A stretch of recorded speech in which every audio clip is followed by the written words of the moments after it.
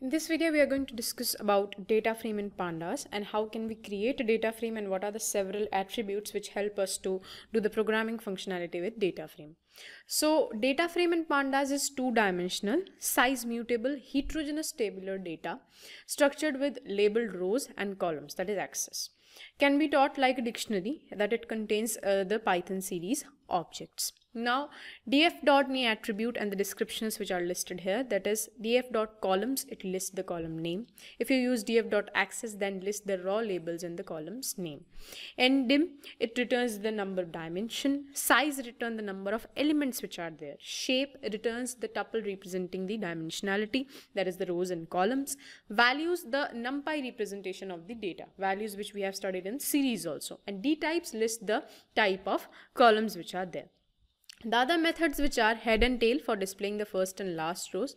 Describe generates the descriptive stats for numerical columns only. Similarly, max and min value to fetch the maximum and minimum value from the numeric columns. Mean and median return the mean and median value of numeric column. STD is used for standard deviation. Sample returns the random sample for a data. And drop NA drops all the record with the missing values. Missing values we will discuss in upcoming videos. Right now we will see that how can we create a data frame. So here where we left with series, firstly we are going to declare variable df for data frame and pd dot data frame. So it is like dictionary so we are enclosing with with name we are giving a series of name and similarly age as key we will give the series of keys that is having the age. So firstly we are giving here the name and then it is going to have pd dot series for the values of name. So as we are giving multiple values we will enclose that within square brackets and it is having name alice bob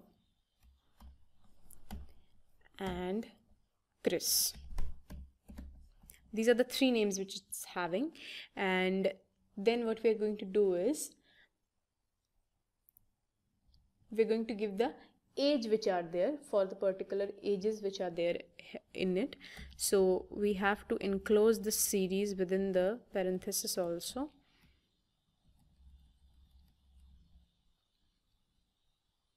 So that is enclosed and next what we are going to give as the age. So next key which we have is age and that is also going to have a pd dot series.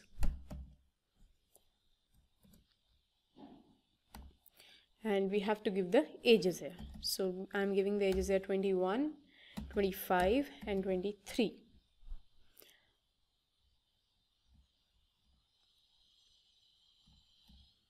next what we're going to do we're going to print this particular data frame that is df and let us firstly execute this. So here you can see that it returns me the name and the age which we have given indexing that 012 with the name of the respective ages. Now if you want to check the particular size which we have studied here in there is a particular in there df dot size. It returns the number of elements. So you can just simply write here df dot size now here you can see the size returns to us is 6 along with the print of that data frame it returns as 6 because there are in total 6 values. Similarly you can also check the uh, shape that tuples representing it so for that you have to write df dot shape as you used to write in series also. So df dot shape. So here it is returning the df dot shape there is 3 comma 2 that means there are 3 rows and there are two columns. Next, we are going to see that if I want to add a new column, then how can I do that? Right now, I'm having just name and age. Now, if I want to add a new column, then how can I do it? So this is print.df and next what I'm going to do here, let me do it in a new cell only. I have to write here df and then I have to write the new column which I want to add. For example, I want to add a height column also and then I have to give the values that I will give in series only. And I have to mention the heights. So 5.2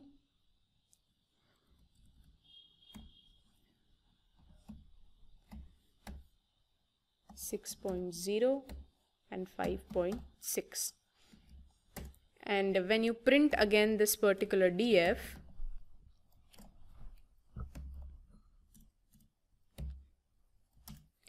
then here you can see a new column is added along with the name and age that is height Next, we want to read CSV file of particular data and then implement certain functions. So here in the tutorial, you can see that we have mentioned the link of a CSV file and you can download it from here and then we will per perform certain operations on that. So after you download this particular CSV file, it will be stored and the name of that file is salaries. So salaries.csv file will be stored so df dot we have to read the salaries and now we want to display a few records first. So we know that we use the head function for it df dot head and if I don't mention any particular attribute here that how many display I want to do for two records or three records. If I leave it empty this particular parenthesis then it will by default read the first five records. So these are the first five records from that particular CSV file that is salaries.csv that is having rank discipline PhD service sex and salary. So these are the element and if i give here the particular number which i want to read then it will display you the total seven records that is indexing from zero. Next if you want to list the types of all column that what are the particular types of column. Then you have to write df dot d types which we have studied also while we are discussing about the functions. So df dot d types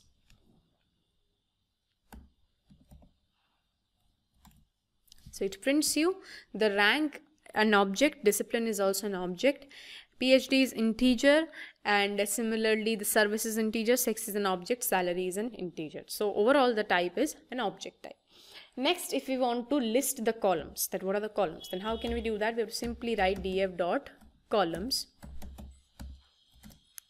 and it will give you that the columns are rank, discipline, PhD, service, sex, salary and all are object type. Next, if you want to list the row labels and the column names, for that we use the function df.axes. So it is giving you that the range index starts from 0 and stops at 78. That means there are total 78 starting from 0. It's step of 1 and index also it returns. That is for the row names and the columns. Now for number of dimensions if you want to check then we use the ndim. So df dot ndim so it returns that it is two dimensions. Next, if we want to check the total number of elements in this data frame, so simply we use the size function. That is 486 are the total elements which are there. For number of rows and columns, we use the shape. So that is df dot shape.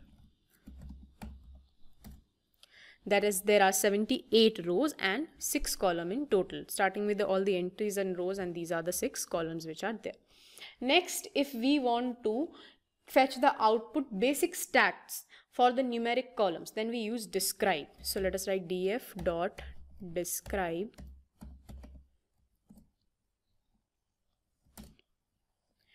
Here you can see that the basic stats that is count, mean, standard deviation, minimum 25%, 50%, 75% and the maximum is returned. For the numeric columns which are there in this particular CSV file, those are PhD, service and the salary. So we can use the describe method for the basic stats of numeric column. You can also calculate the average of column for first 50 rows. So how can you calculate the average for that? You have to simply write df dot head for 50 first columns you want to calculate, let's say 50 dot mean. So here you can see for the first 50 columns of numeric PhD service and salary, this is the mean value or you can say the average value which is written. The type is float because it is of decimal points value.